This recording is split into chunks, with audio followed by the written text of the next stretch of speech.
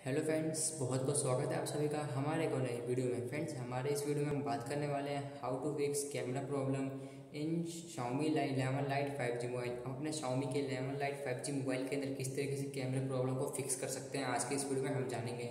अगर आपने अभी तक हमारे चैनल को सब्सक्राइब नहीं किया तो चैनल को ज़रूर सब्सक्राइब कर ले, वीडियो को लेकर ना भूलें। फ्रेंड्स कैमरे की किसी भी प्रॉब्लम को फिक्स करने के लिए आपको अपने Xiaomi मोबाइल के अंदर कैमरे को क्लिक करना है और यहाँ पर ओपन करना है। फ्रेंड्स ऐसे कैमरा ओपन हो जाता है तो इसलिए आपको यहाँ पे करना क्या होगा?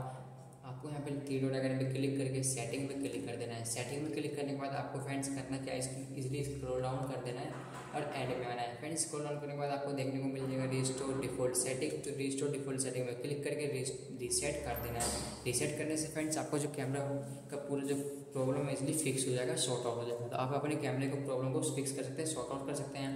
अगर आपने अभी तक हमारे चैनल को सब्सक्राइब नहीं किया तो चैनल को ज़रूर सब्सक्राइब करें वीडियो ज़रूर लाइक कर दें मैं मिलता हूँ नेक्स्ट वीडियो में तब तक के लिए बाय